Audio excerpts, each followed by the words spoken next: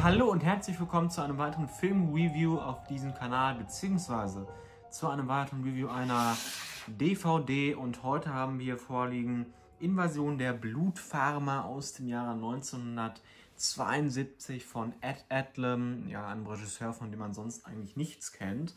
Und diese DVD wurde rausgebracht von CMV Laservision, wie man hier am Spine und auch am Cover hier oben äh, erkennen kann.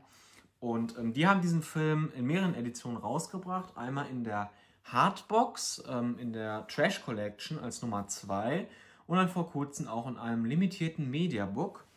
Aber ich habe jetzt hier halt, wie gesagt, die ganz normale ähm, äh, DVD, auch mit einem Wendecover, ähm, wo das FSK-Zeichen dann nicht zu sehen ist. Ähm, auch die Qualität ist hier wirklich gut. Und hier auf der DVD haben wir dann auch nochmal so ein Alternativ, ja, Cover will ich jetzt nicht sagen, aber auch nochmal so ein Ab Abdruck von so einer Latzhose, ähm, was ähm, recht gut dazu passt. Allgemein, ähm, ich bin mir jetzt nicht ganz sicher, also das amerikanische äh, Plakat ist es hier nicht. Ich glaube, es ist das deutsche Plakat und das ist wirklich richtig, richtig, richtig cool gestaltet. Es ist allerdings hier so ein bisschen abgeschnitten und auch etwas unscharf.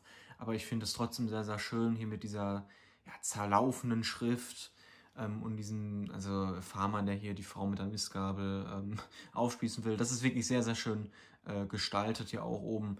Sie ernten die Toten, das finde ich wirklich sehr, sehr cool. Ja, und worum geht es überhaupt? Ähm, es geht darum, dass eine Druide von, von ja, Farmern ähm, ihre Königin wiedererwecken wollen und diese braucht Blut. Ja, und dann morden sie halt in irgendeinem Provinznest, irgendwo in Amerika, im Hinterland, ermorden sie da die, die, die Hinterwäldler. Und da ist, hat man natürlich auch wieder ein Paar, welches da drin äh, versucht, irgendwie zu überleben. Ja, der Film geht auch gerade mal 74 Minuten, ist also recht kurz. Äh, wir haben hier zum Beispiel auch noch ein paar Special äh, Features, sage ich mal, Audiokommentar mit, mit dem Regisseur, ähm, auch mit Kameramann. Äh, eine umfangreiche Bildergalerie, Programmtrailer äh, und bla bla bla. Also das ist vielleicht noch ganz interessant. Ähm, der, der Audiokommentar des Regisseurs, das ist auch recht informativ und schön anzuhören. Ja, und dieser Film, das ist so ein äh, früher Splatter, oder das wird wenigstens so beschrieben teilweise als früher Vertreter des Splatter-Genres in den USA. Ähm, es ist wirklich Trash. Ähm, es ist Trash, der sich wirklich bluternst nimmt und der versucht, irgendwie Dram Dramatik reinzubringen.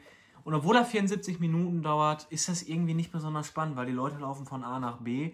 Und leider gibt es auch nicht viel Splatter zu sehen. Blut.